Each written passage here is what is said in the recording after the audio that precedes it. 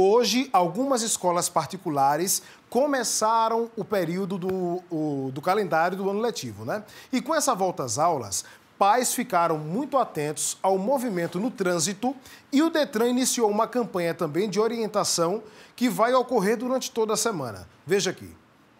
João e Maria Clara estavam animados para o primeiro dia de aula. Sim. Tá animado para voltar às aulas? Sim, estou. Mas volta às aulas já sabe, né? Mais veículos nas ruas, mais engarrafamentos. Como é que tá o trânsito? Bastante movimentado. Agora voltou à realidade, bastante trânsito. E para reforçar o respeito às leis de trânsito, como não parar em cima da faixa de pedestre e não formar filas duplas de veículos, que o Detran utilizou da criatividade e bom humor com a turma do Fonfon. Para um lado, olhe para o outro, passando pela faixa. Como é que é? Olhe para um lado, olhe para o outro, passando pela faixa. De novo, olhe para um lado, olhe para o outro, passando pela faixa. Vai! Olhe para um lado, olhe para o outro, passando pela faixa. É é? A ação faz parte da Operação Volta às Aulas do Detran.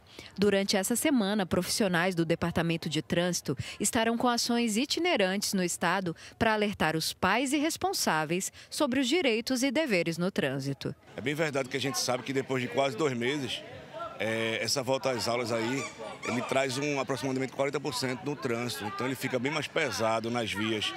E o intuito da gente é justamente esse. O respeito às leis de trânsito, principalmente no entorno da escola. Então, limite de velocidade, é, não parar em faixa dupla, faixa dupla, a gente respeitar também as faixas. Então, tudo isso realmente para que o trânsito ele seja mais harmônico.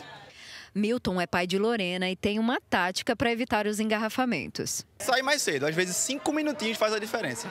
Durante a operação, o Detran também alertou sobre a validade da vistoria de veículos que fazem transporte escolar, que termina nesta quarta-feira, dia 31 de janeiro. O Detran age com essa vistoria, essa atualização dos itens de segurança.